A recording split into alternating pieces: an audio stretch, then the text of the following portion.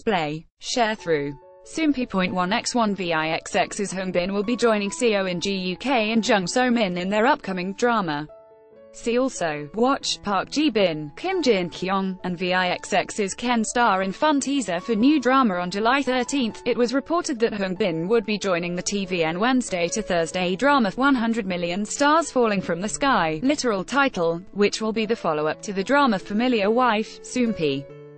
Display, News, English .300x250, BTF Soompi.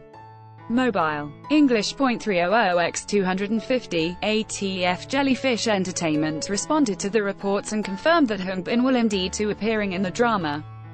He will be joining a cast that includes Seo In Guk, Jung So Min, Park Sung Woo, Seo Yoon Soo, and Go Min Si. 100 Million Stars Falling from the Sky is a remake of the 2002 Japanese drama of the same name. It tells the fateful story of Kim Moo-young, Seo In Guk, a cold man who sees love as a game, and Yoo-jin Kang, a woman with a warm personality.